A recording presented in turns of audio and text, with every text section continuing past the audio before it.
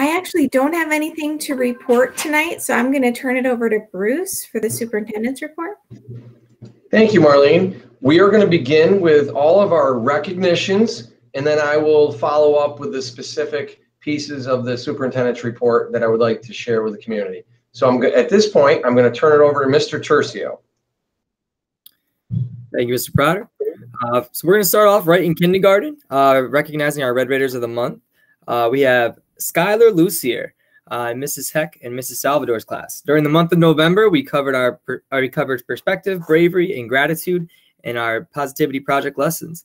Skylar does an excellent job displaying these traits as she has worked in kindergarten, being brave when dealing with transitions and changes at school. Skylar has kept a positive attitude. Skylar shows a sense of perspective and caring about others in the classroom by always being respectful to her peers. Skylar often shares her gratitude for, uh, for help from her teachers with thoughtful manners and a kind word or virtual hug. We are so proud of Skylar. Nice job, Skylar. In first grade, we have Brantley Fisher from Mrs. Ferrone and Mrs. Paulsonella's class. Brantley shows kindness, compassion, patience, and thoughtfulness each day. He is always thinking of others. Every morning, he will ask, How are you, Mrs. Ferrone? In breakout rooms, he is an active listener and always gives compliments and positive feedback to his peers. Brantley gives 100% each and every day. He is such a positive force in our class family. We are so lucky to have Brantley in our learning community. And just so you all know, Brantley is a virtual learner and he's been crushing it. In second grade, in Mr. DeMarco, Mrs. DeMarco and Mrs. Rocco's class, Logan Demetz.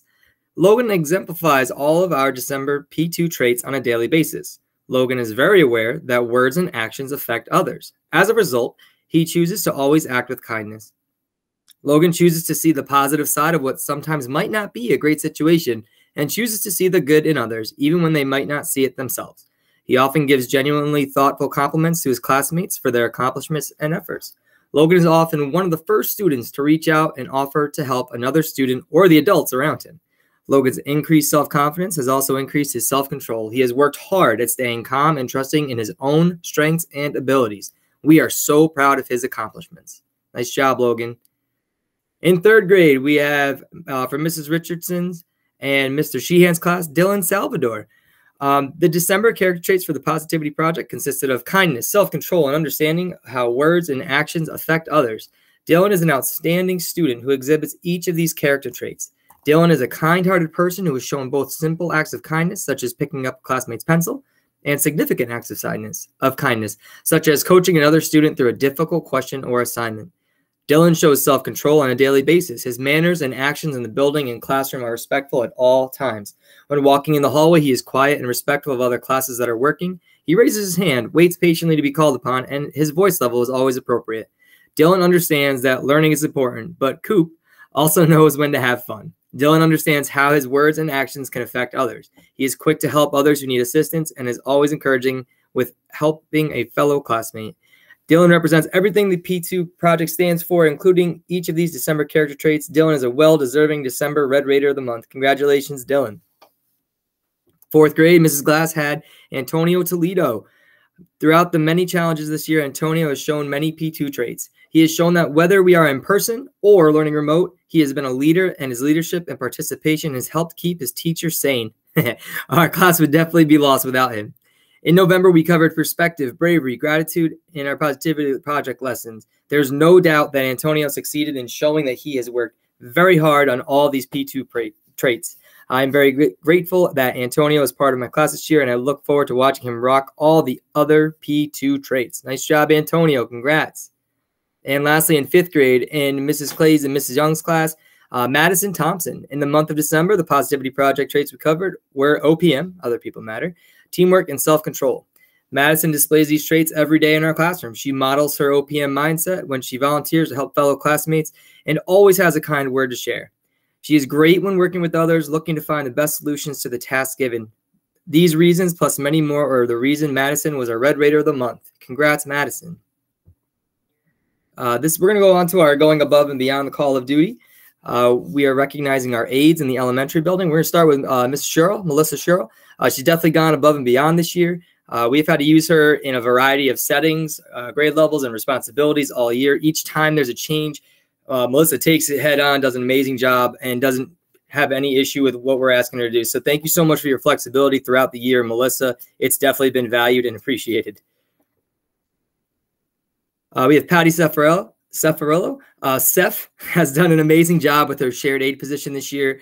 Um, her demeanor, she's constant team player and is always willing to do what is best for the kids. Uh, she's shown flexibility and understanding throughout the year and has been in, an invaluable member of the classroom. She has the patience of a saint. Thank you for all of your hard work and dedication every day, Seth. Amanda Mulheron has gone above and beyond this year. She has been an extremely important piece of the classroom routine and function. Her dedication and commitment to her students and to helping our school community is simply amazing. Recently, she actually agreed to be a part of our special education advisory committee to ensure that there's a voice for our aides in our work. She's a rock star. Thank you so much for everything you do, Amanda. Uh, Eric Bryan has gone way above and beyond this year advocating for his student. He uh, has thoroughly communicated the positive gains of his student along with the challenges that the student faces each week. Um, when he is available, Eric will support our building in any way he is asked. He has covered lunches, manned the hallways, um, etc. He definitely advocates for a child, knows his student thoroughly, and knows what makes that kiddo tick. So thank you, Eric, for having such an amazing relationship with your kiddo. He uh, he wouldn't be who he is without your support.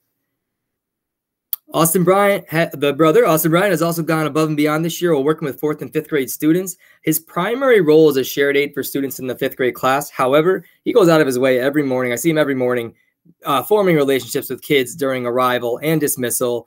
Uh, right now, currently, I'm not going to read that. That's not even important, right? He's helping out in the cafeteria right now. We have over 25 kids in there, and he's bouncing around from every kid, whoever needs help. Um, it's amazing to see and watch. I can't thank Austin enough for the work he's doing in there. I should have just done this like as is instead of reading stuff. I think it would have been better. Uh, Aaron Malaznik, thank you so much for going above and beyond, uh, working really closely with the students in your class. You have an amazing support um, and rapport with them that you use each day. You've shown flexibility and understanding when you're ever asked to cover another position or a task during the day. And regardless of where you go, you're doing an amazing job. So thank you so much for everything so far this year. Uh, I'm really grateful to have you in the building. Uh, we have Carrie Finelli. Carrie's gone above and beyond this year. Her work in the self-contained class is invaluable. Uh, the relationship she has with her students allows her to anticipate their needs and support them throughout the day.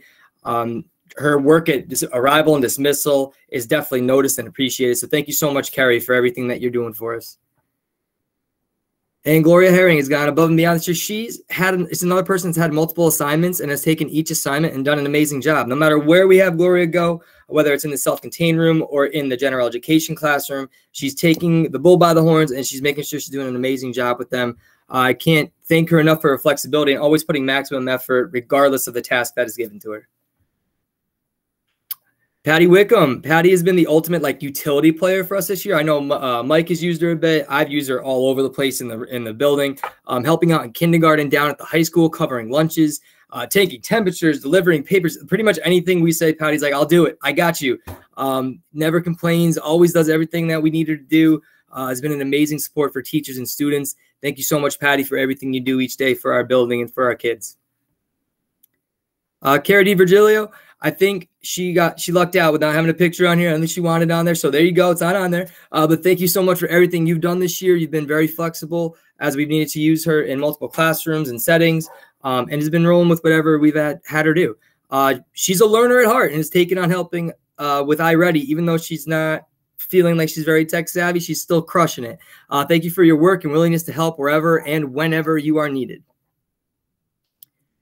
And lastly, Amy DeMarco. Amy DeMarco has gone above and beyond this year in her role as an office aide, uh, extremely flexible, flexible and willing to take on a variety of roles. She's covering lunches, uh, in charge of handing out materials, watching the front door, answering phones, delivering papers all over the place in our building. And it helps everything she does helps our building function. Doing dismissal, like she's a pro at it. So thank you, Amy, for everything you've done for us this year. Uh, moving on to our culture, uh, some of the key things I wanted to point out for the, for the board tonight um, and to any families that are watching. Um, we have our P2 bulletin, bulletin boards up and around. We have um, our Red Raider of the Month. We're recognizing staff. We're doing a couple of Spirit Days uh, this month. Right now, we're doing a P2 book reading contest. Students are getting book baggies. They go home. They they're logging their reading. The cra- the classes um, in every grade level, the top class in every grade level gets to help design a uh, spirit week for us. So like they'll pick Crazy Hair Day or something like that. All right. Um, so that's exciting that we're doing that now. Um, what else we have going on every day? I've started doing. I don't know if you've seen them, but I do a recorded message, uh, morning announcements for everybody in the elementary school. Uh, it's a Pledge of Allegiance. It's our school flag, or our school pledge rather. Excuse me. There's a fun fact from the kitchen, birthday announcements. Um, we talk about the teacher or admin led school-wide events. I share some info about myself and the things that you know I'm going with every day. I talked a lot the last couple weeks about a game I was playing on my Xbox. The kids thought that was hilarious. Um, and then naturally we have to end the meeting with some awful bad bad and terrible dad jokes. But what's been really cool is that kids and staff have been getting involved. And I have a list of like 20 jokes all from kids that I'm going to try and get in tomorrow. So it's it's been really fun to to read those and record those for the kids every day. So that's those are some of the things we're doing for culture uh, up at the elementary school. Um, I want to go over really quickly our our iReady performance. Um, this is what it looked like in the fall for our iReady diagnostic in reading.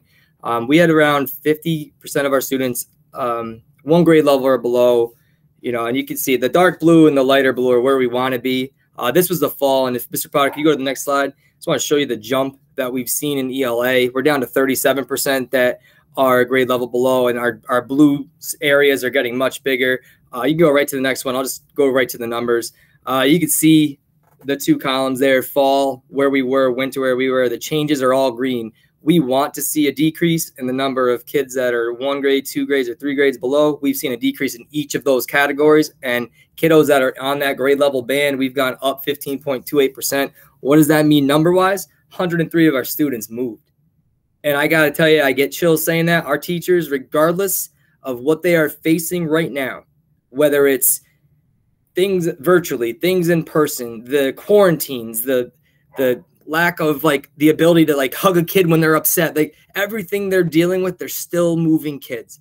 I really wanted to make sure I give them my thanks and let them know how proud I am of, of being their principal and seeing what they are doing. This has nothing to do with me. This is all my teachers working their butts off every day and getting kids to move. Um, something I do want to point out when you do iReady, it it sets kids into a lesson path, and right around 50% of our learners are working on phonics and phonological awareness, so letters and letter names, sounds, how they blend together, and that's where a lot of our kids are right now um, in the percentage of the lessons right now. So I wanted just to point that out because that's the building blocks, and that's something that we need to look at in the elementary school moving forward. All right. Uh, next slide, we'll go to math real quick. Uh, as you can see, we had around 75.6%, at least uh, one grade level, below, uh, and 20% two grade levels below. But again, we're seeing great trends. Mr. Potter, next slide. Uh, you can see that that number is down to 50% and around 12%. Our blue is growing. We expected this we knew based on what we were hearing from the research that math was going to be a bit further behind than ELA. We knew this coming in. Um, but again, super proud to see that we're moving kids. So, Ms. Brown, next slide. Uh, we are trending in the right direction everywhere. Um, we're we're increasing the number of kids that are hitting that grade level band um, while decreasing the number of kids in the one, two, or three grades below. What's that mean number wise? 84%, or I'm sorry, 84 students um, have moved to a grade level band in iReady, which is amazing.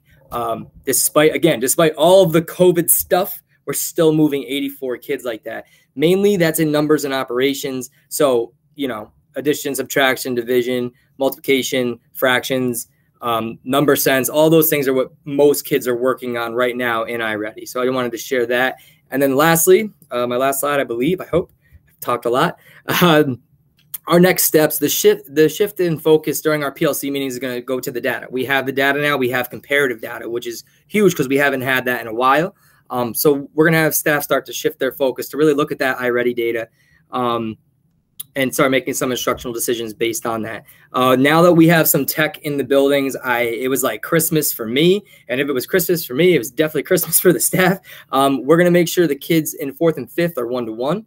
They'll have a device in classroom. I think that's going to really help with those hybrid situations, especially um, because everybody can be on the same uh, device or the same presentation at the same time. That's going to really help the teachers, I believe. Um, and then also we're going to have pods. Each pod up top is going to have its own 25 student or 25 Chromebook cart uh, with touchscreen Chromebooks for the littles because they they try to touch the screen anyway. So we're like, let's just get them touchscreen ones. Um, those will be cleaned off after every class uses them, using the protocols that we have in place. Uh, we're we're going to make sure we clean them after each use. So I just want to make sure I said that out loud for everyone to hear. All right. Um, during that time, kids could be on a computer. Teachers are pulling those individual and small groups, uh, working on interventions to keep get, keep those numbers moving. All right.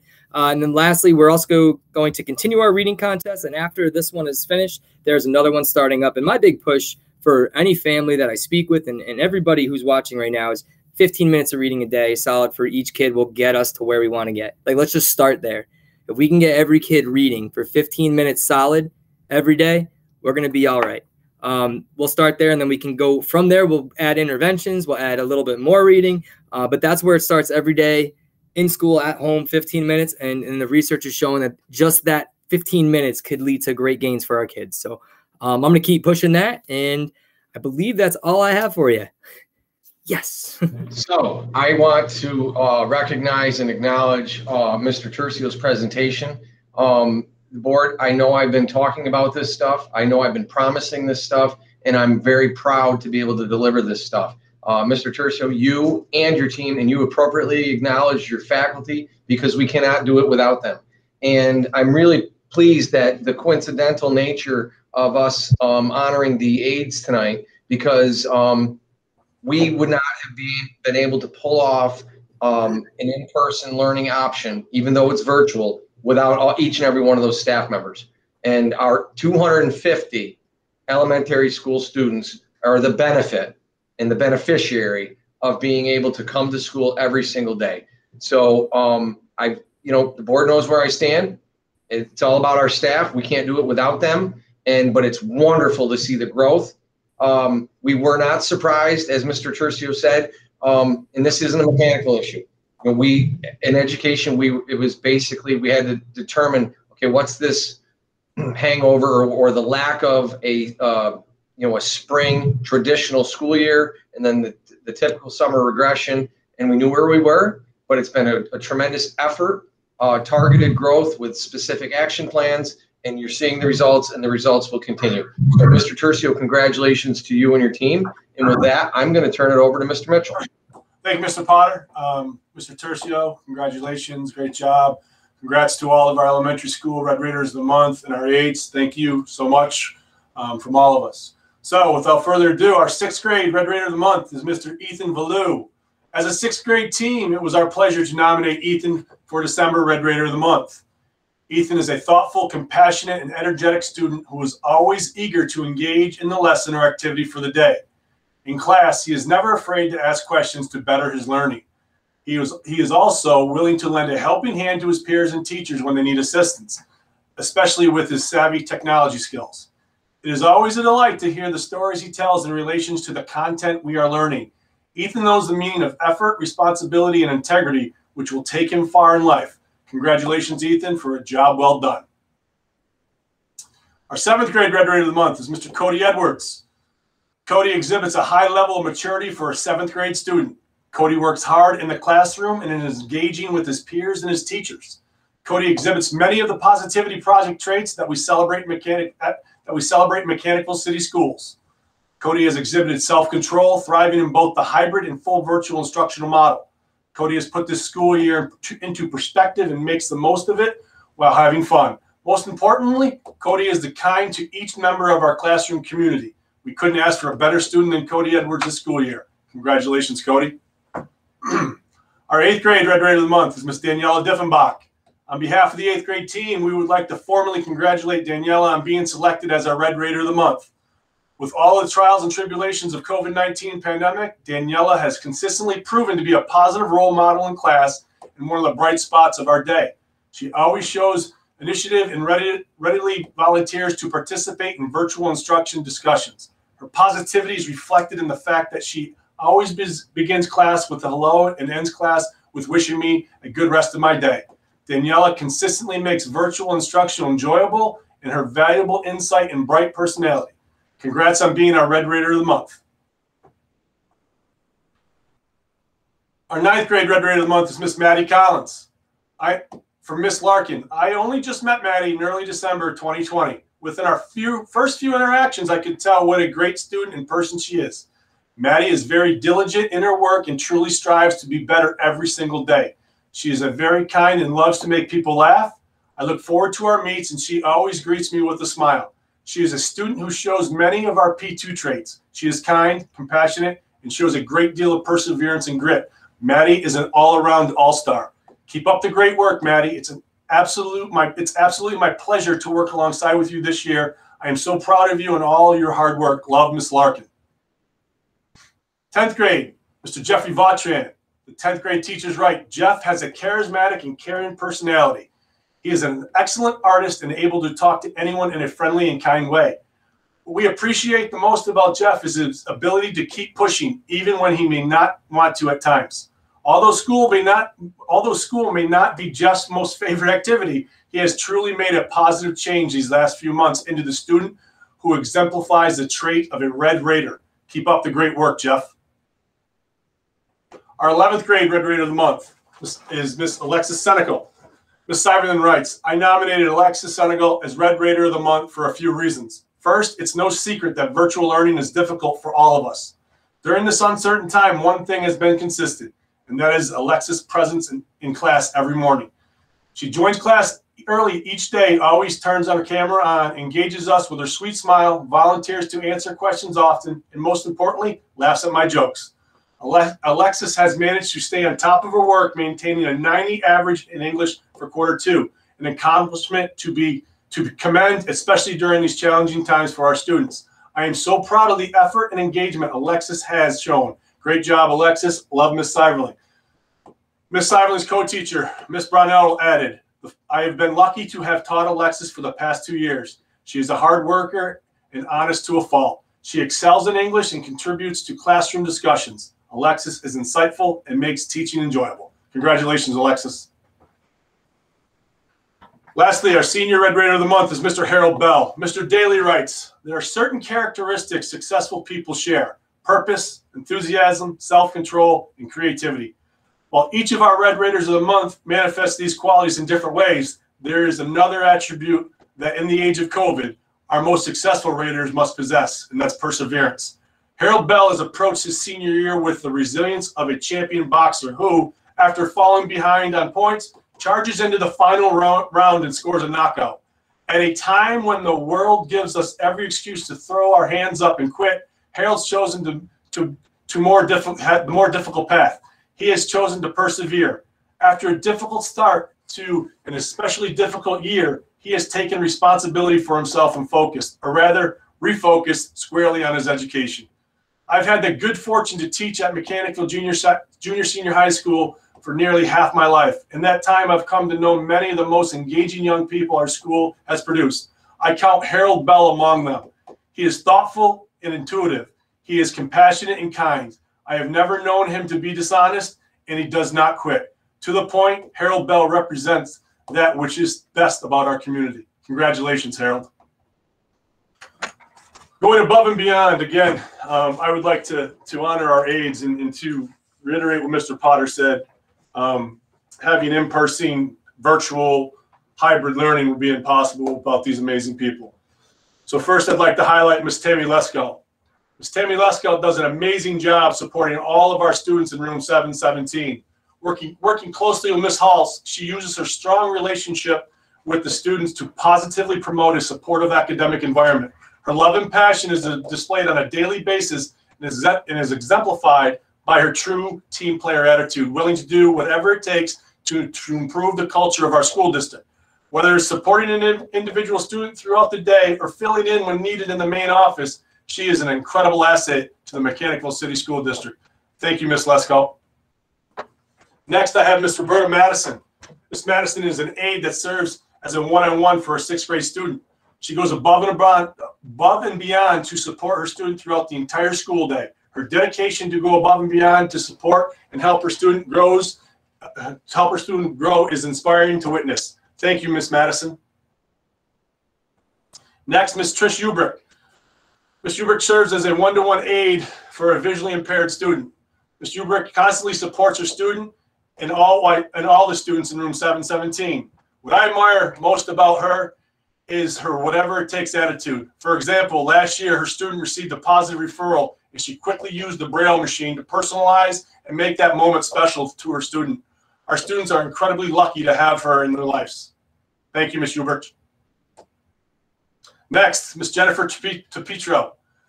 She is new to the junior senior high school this year, and she wears several hats and does an amazing job with all the tasks she is asked to do. Most recently, she's been tasked to support our fifth grade learners in the cafeteria. Behind her mask with a huge smile on her face, she constantly demonstrates a kid's first attitude.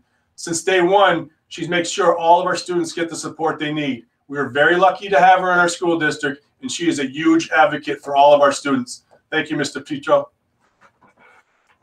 Next, Ms. Priscilla Holland.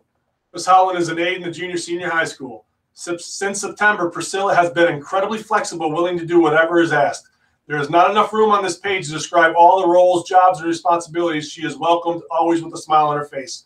Priscilla comes to school every day knowing her role may be different from the day before, but is always always up for the challenge. Thank you, Mrs. Holland. Next is Miss Sue Hickey. Miss Hickey is a one-to-one aide in room 717. She is not only responsible for supporting your student, but, but she always goes above and beyond supporting Miss Hulse and the entire student, all the students in the classroom. Sue's years of experience is an invaluable asset in, into the success of all the students she comes in contact with. What I appreciate most about Miss Hickey is her solution-focused feedback that always best supports our students. Thank you, Miss Hickey. Next, we have Miss Larissa Fiacco. Miss Fiacco is an aide. She also has numerous responsibilities. Not only does Miss Fiacco work very closely with some of our high school students, she's also taken on the responsibility as a sixth grade classroom co-facilitator with one of our other teachers. As you can see from her picture, she is always happy to do whatever is needed to engage and support our Red Raider students. Thank you so much, Ms. Fiacco. Ms. Christy Dion. Ms. Dion is an aide that supports um, in numerous capacities. Her most important role as a one-on-one aide is with one of our virtual students. Christy is essential in providing support to the student, making sure he has everything necessary to be successful. This year, Christy has always demonstrated strong teamwork and helping in numerous ways to get through these challenging times. Christy's student first mindset is always appreciated and is valu valuable asset to our school district. Thank you so much, Ms. Dion. Ms. Jenny Arsenault is an aide in the high school. Again, this year we've asked um, Jenny to do a lot um, and, and a lot of different responsibilities. She's been instrumental in providing coverage to numerous classes in our school, school building whether it's covering a study hall, supporting an elementary class, or facilitating iReady in the computer lab, Jenny does whatever it takes.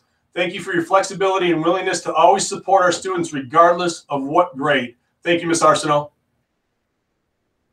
So before I start with culture, I want to share with the board that um, as Mr. Tercio provided academic achievement, I will be providing that next month because our iReady cycle, we have our second diagnosis scheduled for the next couple weeks in the junior senior high school. So um, tonight you'll see our culture slide. Next month I'll have a thorough presentation on the student achievement and, and data to, to provide to the Board of Education. So the, the last two months, P2, again, we've had bulletin boards reinforcing the character traits similar to the elementary school in self-control, optimism, prudence, perseverance, and integrity. Um, we issued 218 positive referrals to 152 students. Again, we do Red Raider of the Month, recognition of our staff, we, we had a P2 PSA contest that we will be announcing the winners um, in the next few days. Um, the students were tasked in a, in a, challenge to do, you know, a, a song, um, a video, a poem, an essay uh, about a P2 trait that exemplifies them as a Red Raider. Um, weekly videos by myself to keep the community, our, our, parents, and our students informed of what's coming up. Um, and, and recently, we've added PPS and our counseling staff into weekly grade level meetings to develop specific action plans for students of concern. Um, again, we've we've really um, tweaked some of our practices to best support our kids, and we've learned over the first semester that we need to we need to do things in different ways to to to, to best support our kids. So I'm really proud of all of our staff. As Chris said, um, you know, given the circumstances, we're doing an amazing job, and and just the never quit attitude. I, I can't thank them enough. So um, this is, I'm excited for this. And to our Board of Education members and to our staff and to the people watching, um, yesterday was a special day here at Mechanicville uh, City School District. Um, quite frankly, this may be one of my proudest moments as the principal of Mechanicville Junior Senior High School up to date. Words cannot express how proud I am of Alyssa Christensen. I first met Alyssa in September of 2019, and it was abundantly clear she had an incredible passion. She was incredibly passionate and motivated young lady. Alyssa was always very transparent in that she had goals of graduating a semester early. Through the help of many and countless staff members here at the junior senior high school, we supported her in prioritizing what, which was what was most important. I'm excited to say that she clearly prioritized her goals and officially is a graduate of the Mechanicville City School District. Alyssa, I speak for our entire school district, our Board of Education, Superintendent Potter, and everyone in our school community. We are beyond proud of you and wish nothing but success as you enter the next chapter of the life. We are always here for you and cannot wait to witness your future success. I personally want to thank you for always challenging me to be a better principal. Love, Mr. Mitchell, and the entire Mechanicville City School District. Congratulations.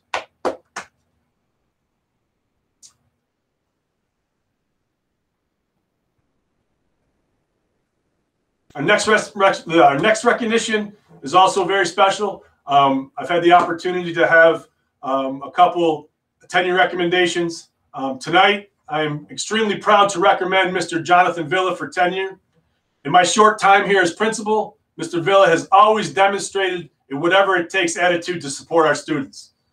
His strength in building strong relationships with all of our students, and he is viewed as a trusted adult for many of our Red Raiders. In addition to his teaching duties, Mr. Villa coaches multiple sports, and he's always very visible at all of our school events supporting all of our Red Raiders. Congratulations, Mr. Villa.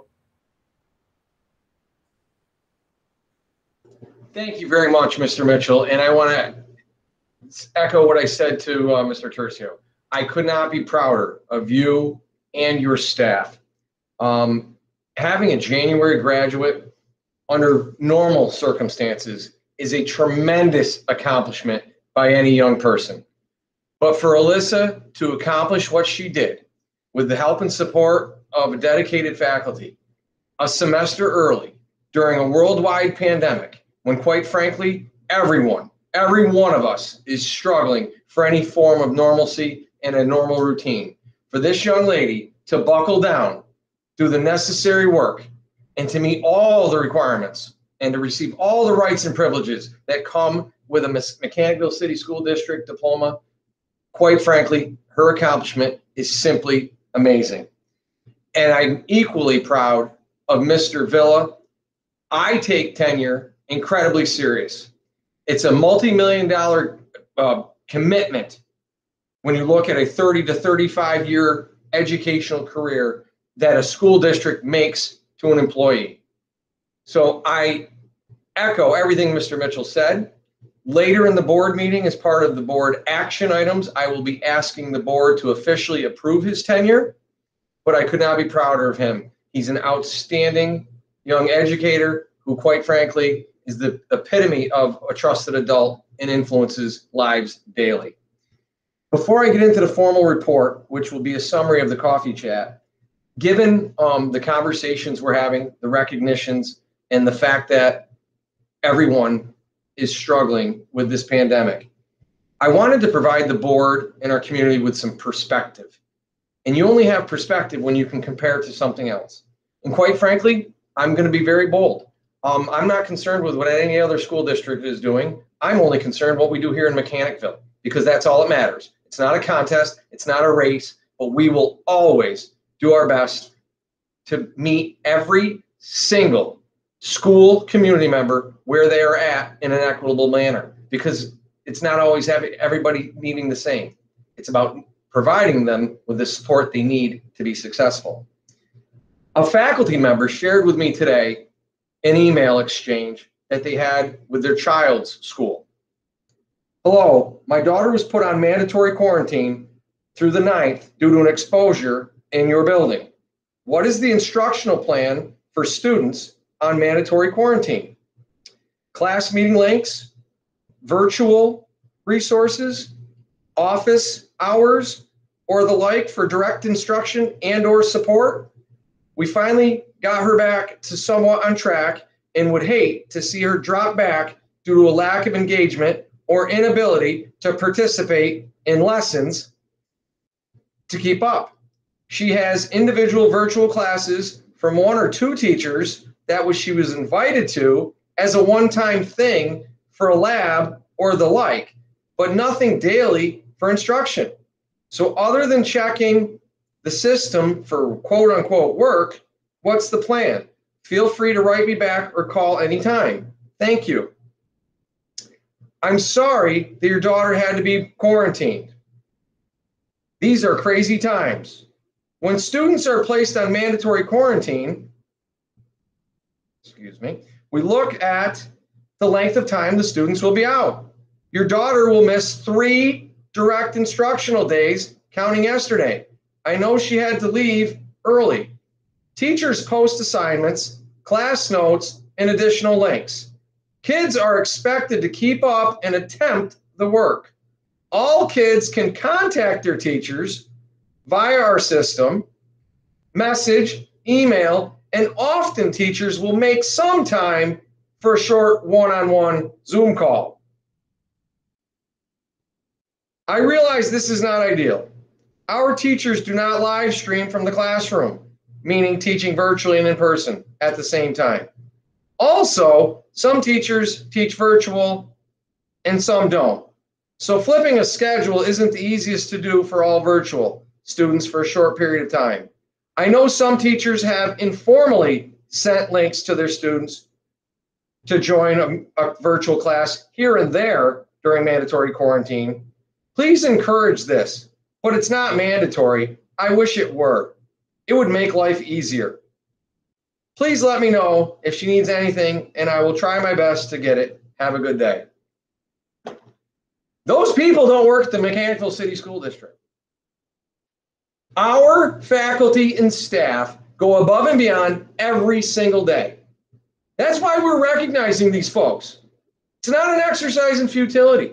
Literally, our team is reinventing themselves each and every day, meeting their students where they are at. I hear this relentlessly from our peers who have children in other districts. Our team continues to go above and beyond every single day under the worst of circumstances. So I just want the board to know and understand the yeoman's work that is being done by all of your employees. So I'll get to my report. So I want to summarize last night's coffee chat. Uh, we presented our return to school plan, um, and it began with a meeting that Jody and I hosted, and Kevin Kulikowski participated in. We had all three of our operations directors. We had the executive team members of the Mechanicville Teachers Association and our CSEA participate. We thoroughly reviewed our opening plan of the school year. We made a couple tweaks and I'm proud to share with you what our plan will be to return. So school will return to in-person and hybrid instruction following the February break. But in order to do this, on Monday, February 22nd, all students, grades K through 12, will learn virtually at home in a live format following the instruction of their teacher. And we're going back to the original schedule. K3 instruction will be 8 to 1, 4 6 is 9 to 2, and 712 is 10 to 3. And when we return, we will remain with this schedule and have three bus runs as we did before. The reason we're having a virtual day on the 22nd is the district is hosting a COVID 19 rapid testing clinic for all employees on that day. Adirondack Health and Wellness will test every employee with the following exceptions that were developed by Dr. Carl Scambatin. Employees who've had COVID 19 will not participate in the clinic because there's too great a likelihood of a false positive. And that would not inform us of what we're trying to get to. Employees having both vaccine shots will not participate in the clinic.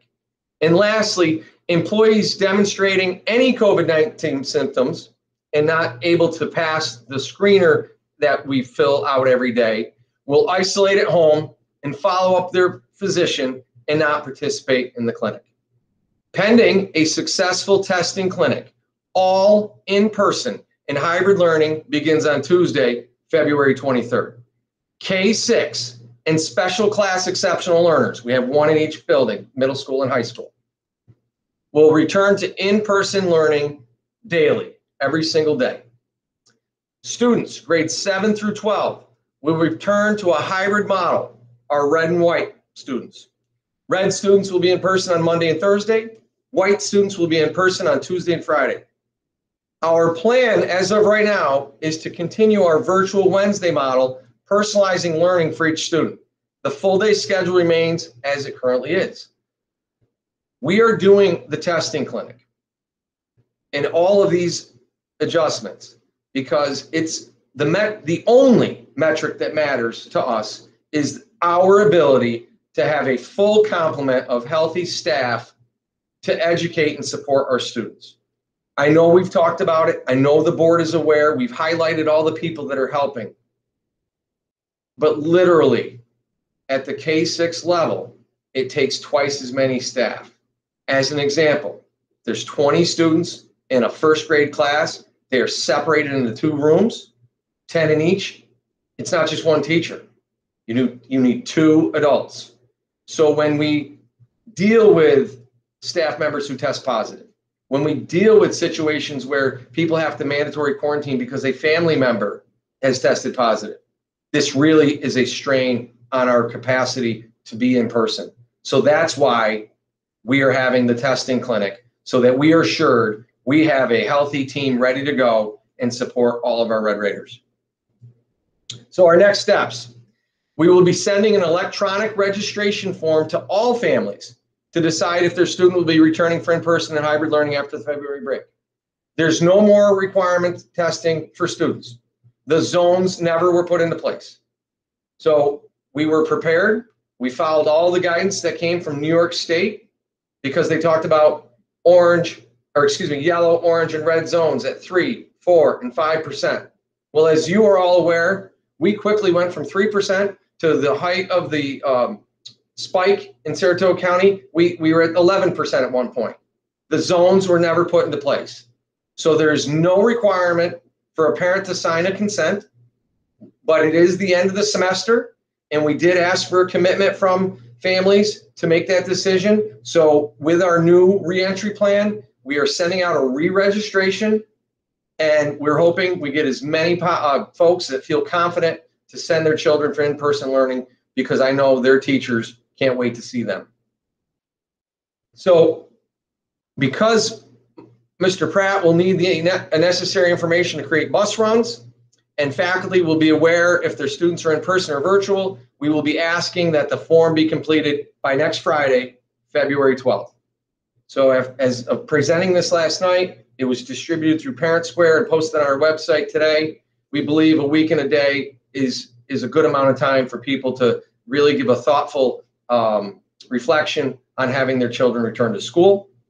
Uh, Mr. Mitchell will be sending surveys to students and parents asking for feedback about Wednesdays and how they've been going. Because quite honestly, it's about everyone's voice. Uh, we've, we've received excellent feedback from the faculty we need to hear from the students and their parents. Mr. Because- Potter, sent today. Go right ahead. Go right ahead, Mr. Mitchell. That survey was sent out this morning. Thank you so much. Because quite honestly, we are implementing a, a process of continuous improvement. We will never be satisfied with our performance because we can always do better. So as much as the faculty are thrilled with the in, in, uh, additional engagement, um, students who are re-engaged, they may have been struggling. We've had parent-teacher conferences on these Wednesdays. Um, they've differentiated the instruction to meet kids where they're at. We want to make sure the students and parents' voice is represented as well because we want to continue to improve what we're doing. We will be sending a form, form home, and I believe it went home today, um, with our current in-person learners at the elementary school asking parents if their students need a device for our full virtual day on Monday, February 22nd. Any student needing a device will bring a Chromebook home on Friday, February 12th. We are purchasing masks for all students and staff from Val Sporting Goods. And this is a mock-up of the mask, our M logo with the hashtag one Mechanicville. And I can't wait to hand these out to every student that walks through the door on the 23rd. So the next piece that I'd like to update the board on that I presented on last night, the coffee chat, is high risk winter sports. So as you are all aware, on uh, January 22nd, the governor um, made the announcement that he was allowing high risk sports to um, start up effective February 1st with local Department of Health approval. Uh, this past Friday, January 29th, the Saratoga County Board of Supervisors held a, um, a press conference where they approved the start of um, high risk sports with multiple um, requirements at the local level, also with the threshold of the seven day uh, positivity rolling average being below the 4%. I'm very happy to say that today's was at 3.5.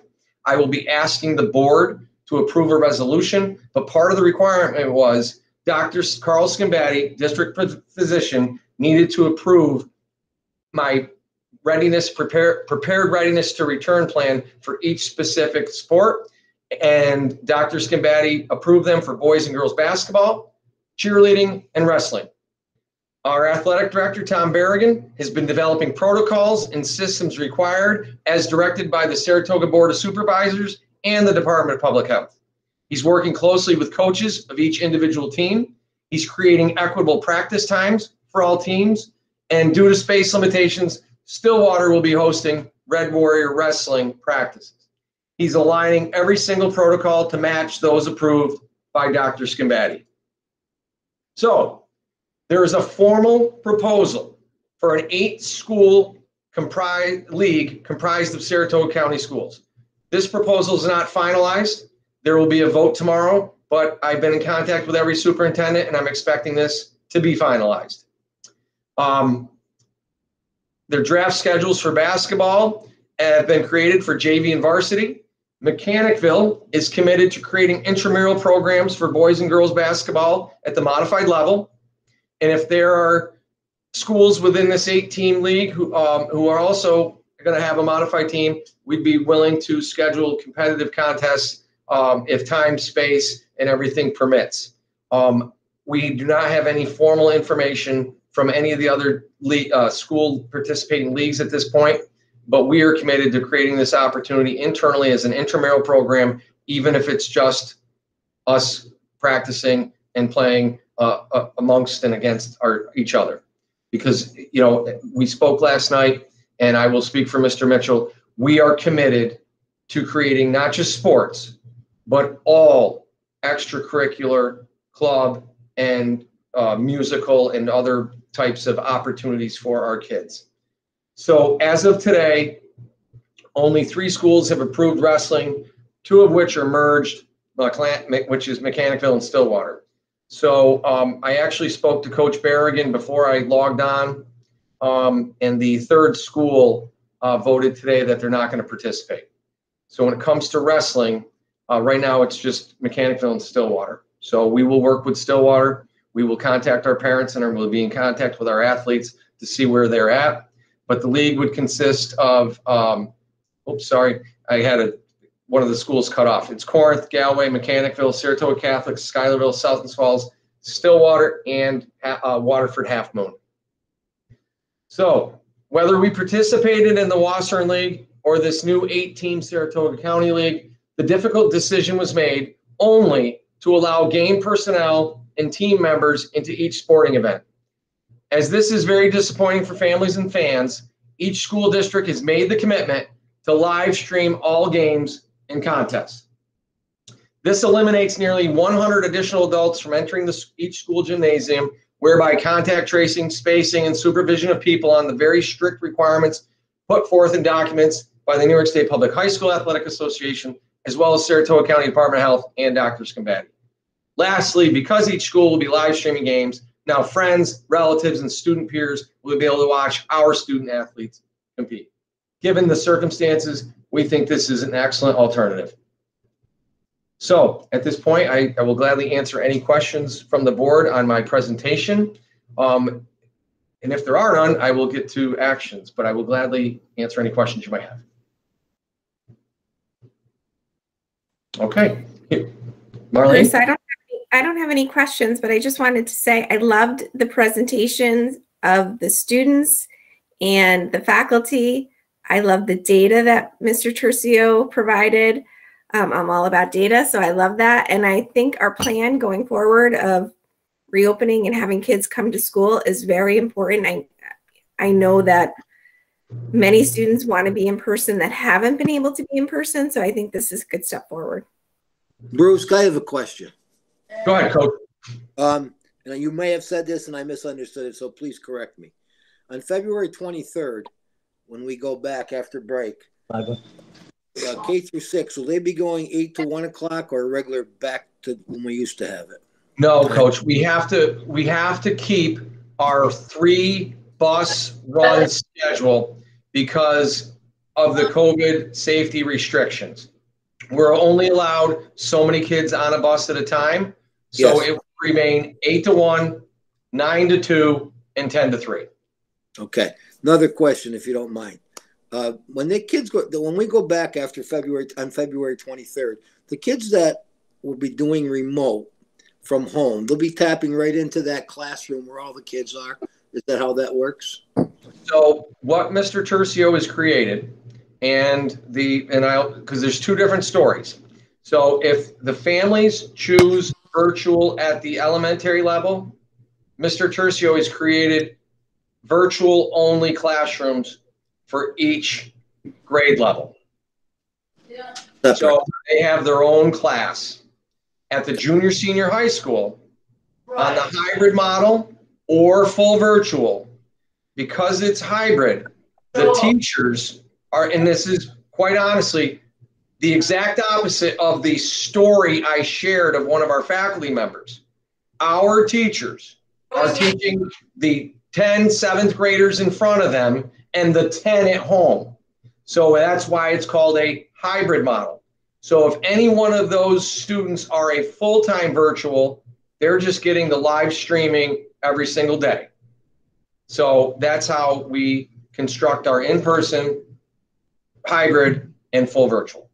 And lastly, I just wanted to thank uh, Val's and uh, Josh. You had explained to us we got a good deal.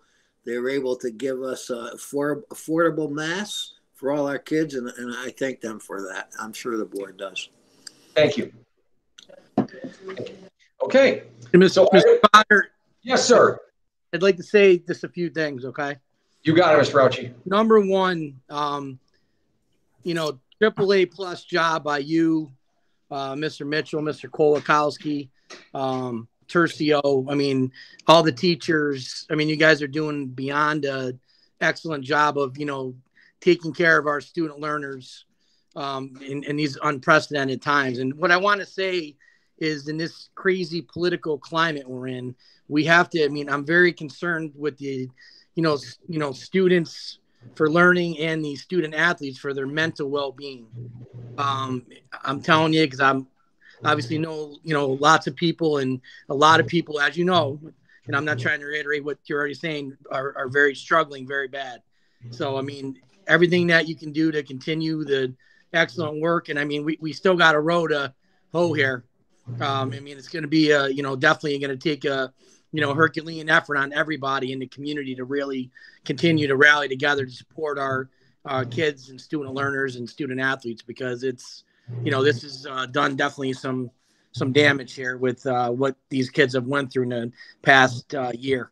So i just want to say you know excellent job but obviously we're gonna have to continue to evolve and as you you know keep uh, learning new things that better support our, our students and student athletes. So i just want to say thank you so First of all, thank you so much. Um, all the positive comments are incredibly meaningful and personal to me, but I want you to also know it's very meaningful to all the administrators and our staff. So thank you very much for the kind words. Um, I, I said it before, but to Mr. Raucci's point, we implement processes of continuous improvement. We constantly plan, implement, and monitor.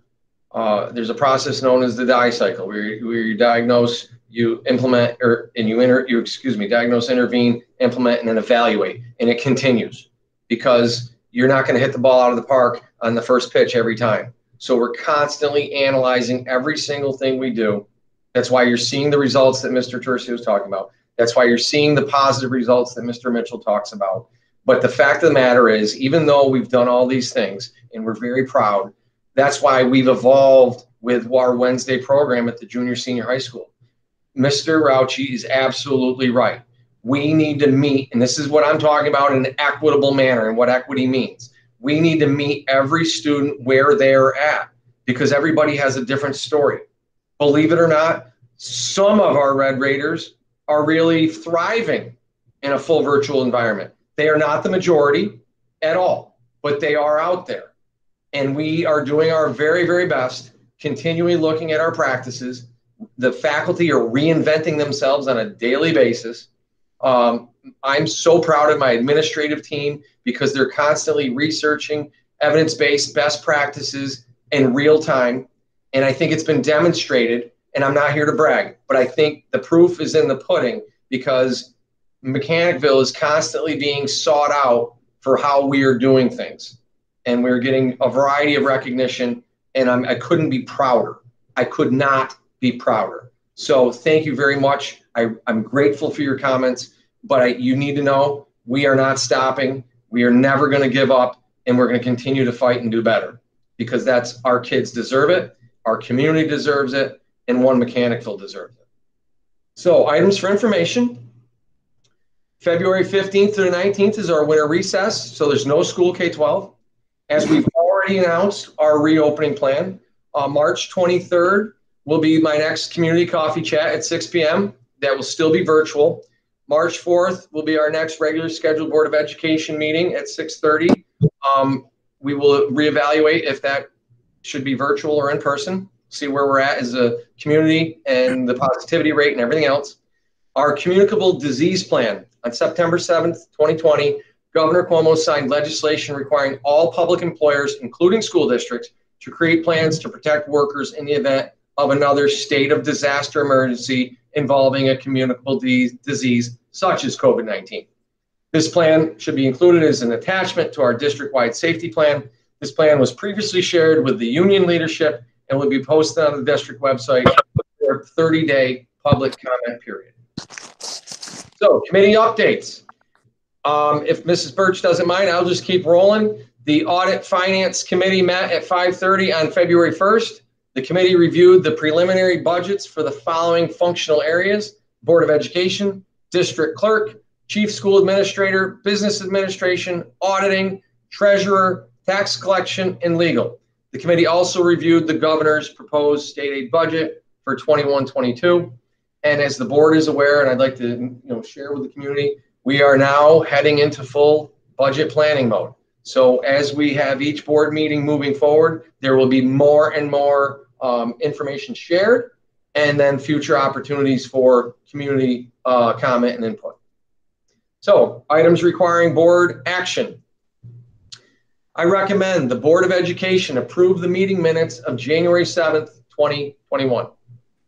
May I have a motion? Motion. Mr. Coleman, second. Second. Mr. O'Connor, discussion? All in favor? Aye.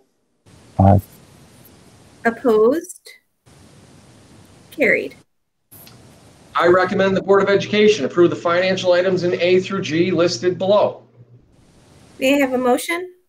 Motion. Mr. Taglione, second. Mr. Bove, discussion? All in favor? Aye. Opposed? Carried. I recommend the Board of Education approve the Committee on Special Education report. May I have Motion. a motion? Mr. Taglione, second. Second. Mr. Coleman, discussion? All in favor? Aye. Aye. Opposed? Carried. I recommend the Board of Education waive the second reading and adopt the revised policy number 3420, non-discrimination and anti-harassment in the district. May I have a motion? Motion. Mr. Bove, second. Mr. Coleman, discussion? All in favor? Aye. Opposed? Carried. I recommend the Board of Education approve the disposal or sale of the damaged or obsolete items as listed, or excuse me, as outlined below. May I have a motion? Motion. Second. Mr. O'Connor, second, Mr. Taglione, discussion? All in favor? Aye. Aye. Opposed? Carried. I recommend the Board of Education approve the following high-risk sports as listed in items A through C below. May I have a motion? Raucci. Mr. Raucci, second. Second. Oh, Whatever. Mr. O- Mr. O'Connor, discussion? All in favor? Aye. One hundred percent aye. Opposed? Carried. I recommend the Board of Education rescind the appointment of Sydney Leonard as Central Treasurer for the Junior Senior High School Extra Class Fund and Student Activity Fund effective February 4th, 2021. May I have a motion? Motion. Mr. Puglisi, second. Mr. Coleman, discussion? All in favor? Aye. Opposed? Carried. I recommend the Board of Education rescind the January 7th appointment of Haley Fisher as food service helper effective January 8th per CSEA contract.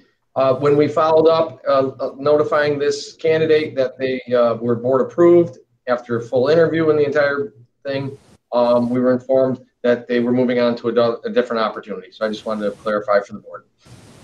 May I have a motion? Motion. Mr. Bove, second. Mr. Puglisi, discussion? All in favor? Aye. Opposed? Carried.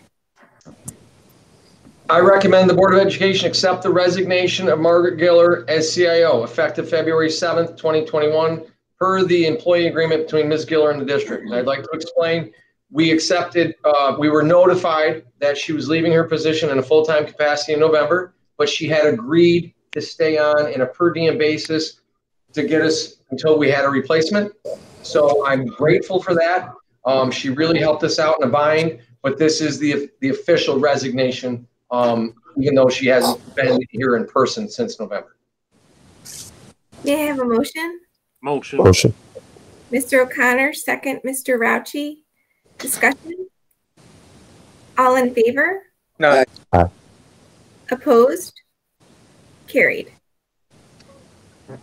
This next one is a part of um, the, um, some of the recommendations that have come from the CSE and what um, I presented at the previous board meeting.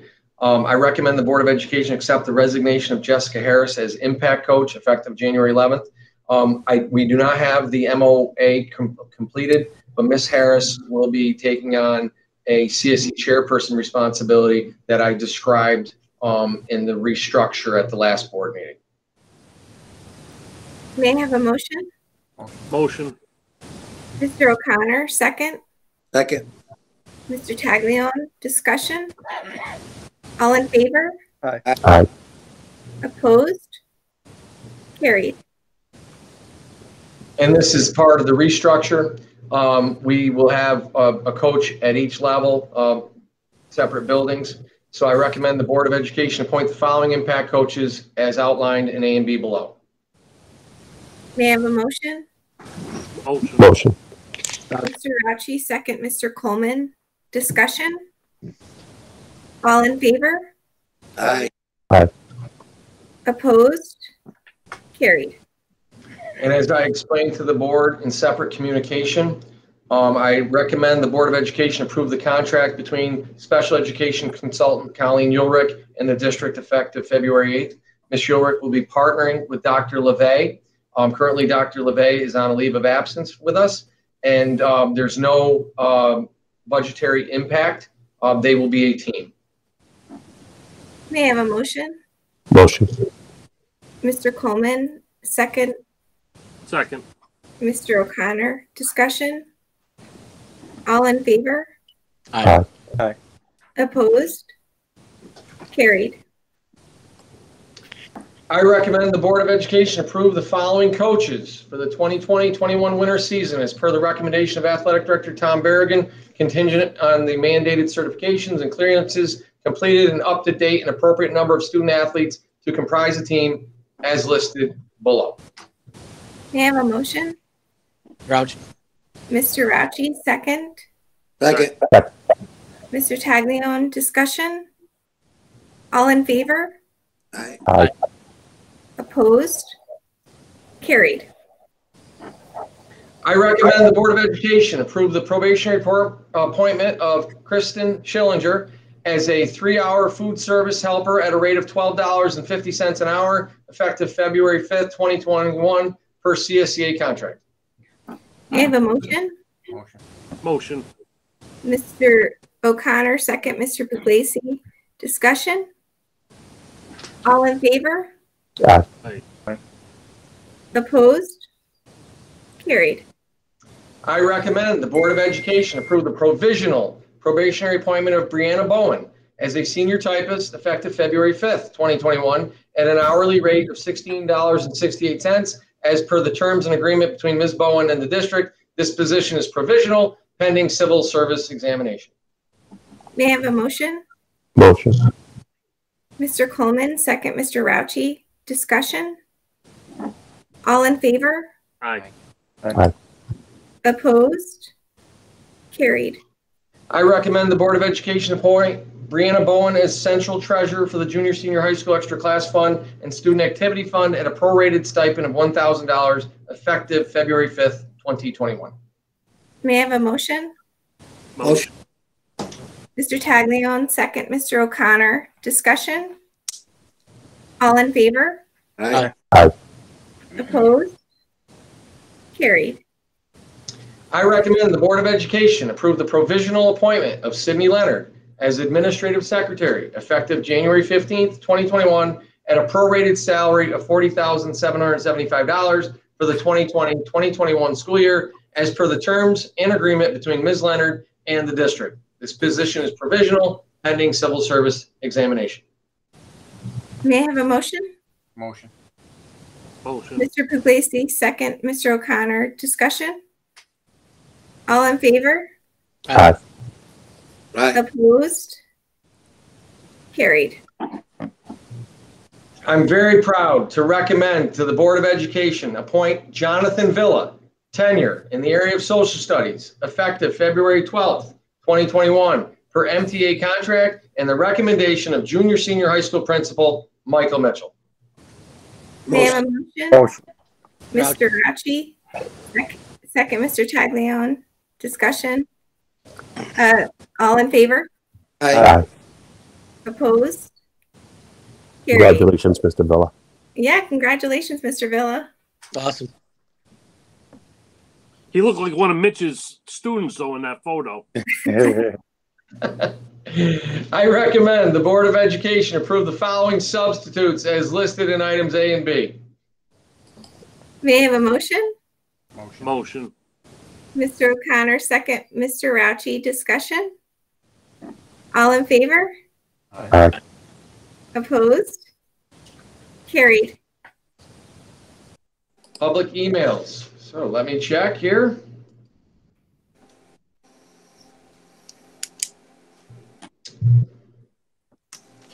We do not have any emails to the Board of Ed site. Okay. No. Motion to adjourn? Motion. Mr. Bo, second, Mr. Raucci. Discussion? All in favor? Aye. Aye. Opposed? Carried. Johnny's awake. Thank you very Bye, much, everyone. everyone. I hope you have a great evening. That report. Uh, let me see how to get out of this.